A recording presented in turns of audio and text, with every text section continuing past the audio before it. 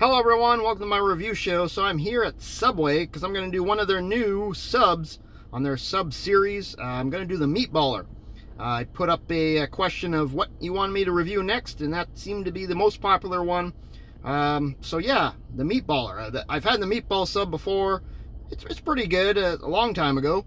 Uh, but now it's called the Meatballer, something new. I'm not exactly sure what's all on it, but let's head in, grab it, and come back and review it. All right?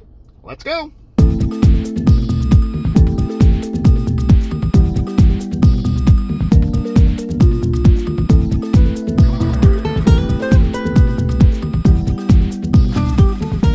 All right, everyone.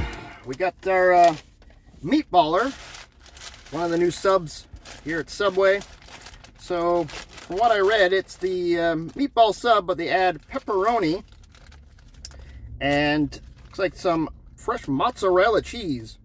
So big, thick pieces of mozzarella, two of them. I just got the six inch. And um, they recommend it on the, uh, I think it's the herb and cheese bread. So that's what I got it on. And then I added uh, lettuce and uh, green peppers. So I don't, that doesn't come um, on it unless you add it. But you can add whatever you want onto the sub. So it's pretty much, yeah, meatball sub, uh, marinara sauce, pepperoni, and then it's that mozzarella cheese. And um, the six inch, we're looking at 8.39. That's quite a bit. I remember the just the meatball sub used back in the day used to be like five bucks or something like that. Uh, then I also saw there, I think it's a new cookie here at Subway. At least I don't think I've tried before. The caramel brownie cookie. And um, hopefully that doesn't melt. It's quite hot in the car right now, but let's give this a, a, try. Probably not the best sub to be eating in a car, but here it is, the Meatballer from Subway on the Sub Series.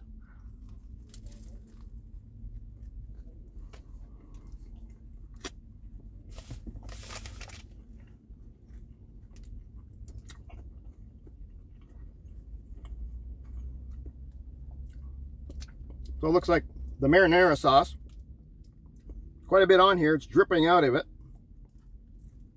That all I got was pepperoni and mostly lettuce. Let's try again.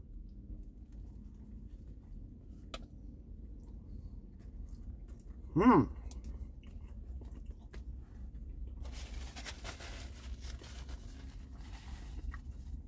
There's the meatball. And I got a piece of that cheese. That's it's pretty good cheese. The it's nice and uh, stringy. I recommend uh, toasting your your sub. It's not bad. I haven't had the meatball in quite some time.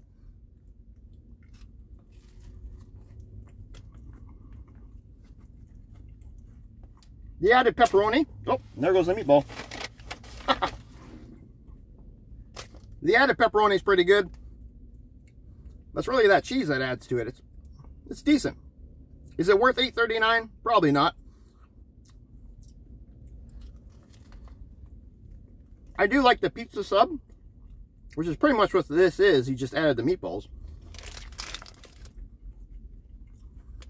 If it was just regular cheese, not a high score. But with that cheese, I'll give it a I'll give it a 6.5 out of 10. Maybe a little bit higher if it was a bit cheaper. But yeah, not too bad.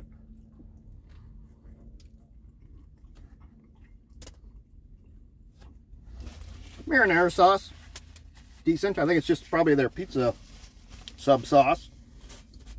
Let me know in the comments below if you've tried the uh, meatballer and what you thought. Or if any of these other sub-series. There's 15 of them. Uh, I did the Teriyaki Crunch, which was pretty decent. Did a review on that, if you want to check that out.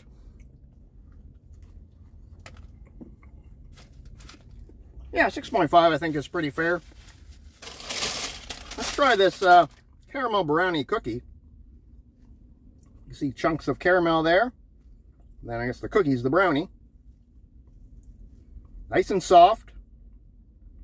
Subway usually does pretty good cookies.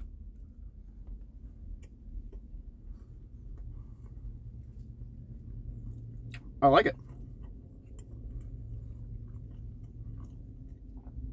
Nice glass of milk, oat milk, almond milk. Um, yeah, I'm gonna give this. I'll give this a seven out of ten. Still think the white chocolate macadamia nut is my favorite, but this one's good. All right, yeah, so the meatballer, not too bad, 6.5. Let me know in the comments below if you tried it and any other subs. And uh, thanks for watching. I'm going to finish this off, and uh, yeah, check out on the next review coming soon. Bye for now.